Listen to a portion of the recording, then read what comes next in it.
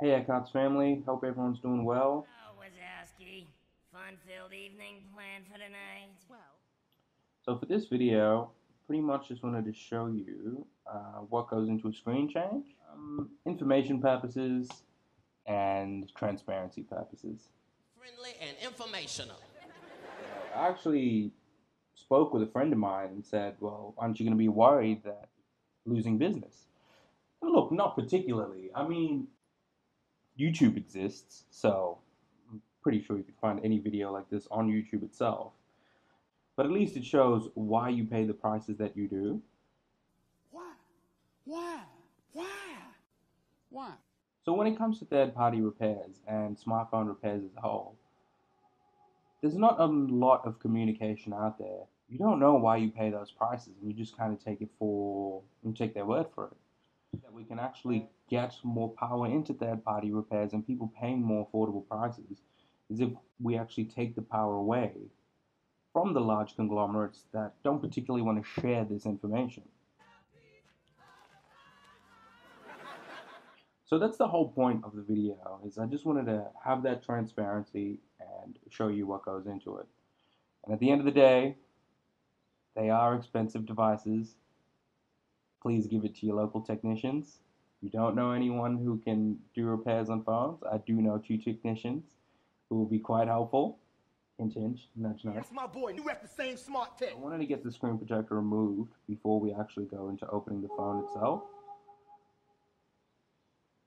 Because this is quite an old protector that actually needs to be removed. Simple as that, a strong fusion between uh, the two items.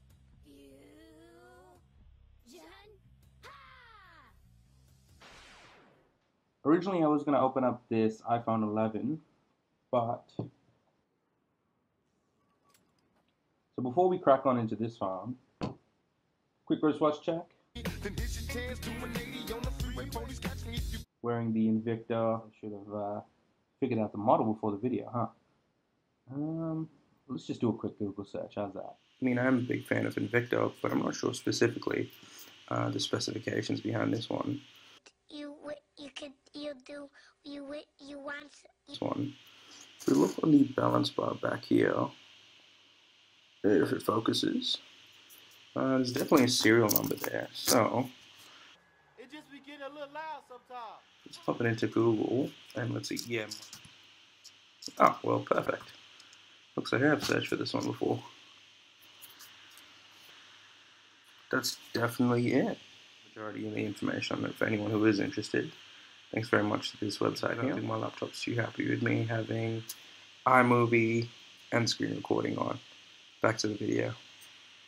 Proprietary pentalobe screw that's required in order to open the device itself.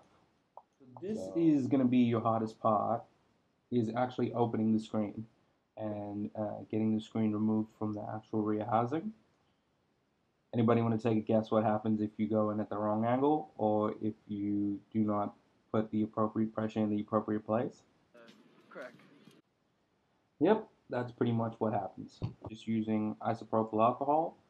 Uh, we use isopropyl alcohol because it's non-conductive and it evaporates quite quickly and there's less likelihood of the phone actually being affected by using too much heat, damaging some of the LCD Here's the power supply at 4 volts and I'm going to connect this thin wire to it and you can see how the wire melts and burns under So now that we got our alcohol in, ensure that our pentalobe screws are off.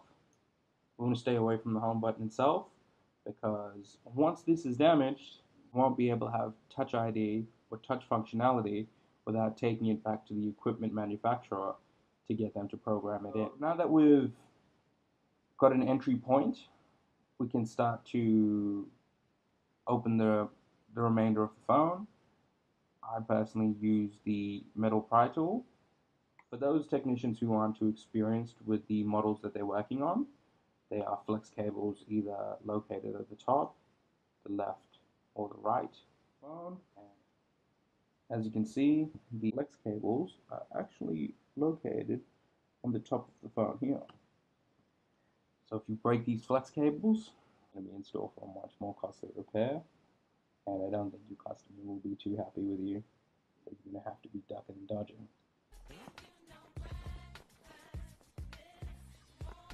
So if you do it right the first time, won't be any need to open. What do you think would be the next step? Have a coffee? Yes. It's time for coffee. The first thing we want to do is disconnect the battery. Uh, this is another reason why you want to have a qualified technician opening the phone and actually doing conducting the repair. Man did English language. Yeah. E. You know what that is? E. Man got E for excellent. You know what that means? Um, for the uninitiated, But we are initiated. most likely they'll be opening the phone, still have the metal pry tool in hand, and attempt to remove the actual shield with the metal pry tool.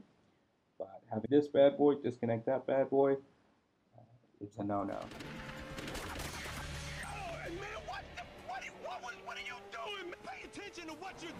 Flex cable that needs to be removed. Um, using your plastic spudger, of course, and not your metal pry tool. Now I move on to the removal of the shields in order to take out the forward-facing camera and the home button. These two devices are paired to the actual device itself, and if they aren't removed, you won't have Touch ID, but on later models you won't have Face ID. I'll break it up into two parts, and we'll move on to the actual screen removal on part two. Next episode of Dragon Ball Z.